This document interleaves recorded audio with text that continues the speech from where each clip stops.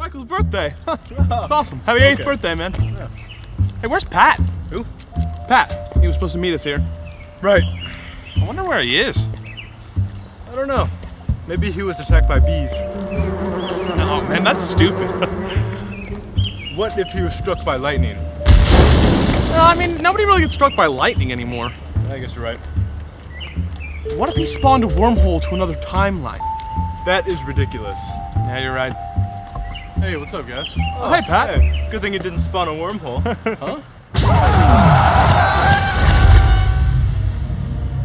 God damn it, Pat, I'm so sick of this shit.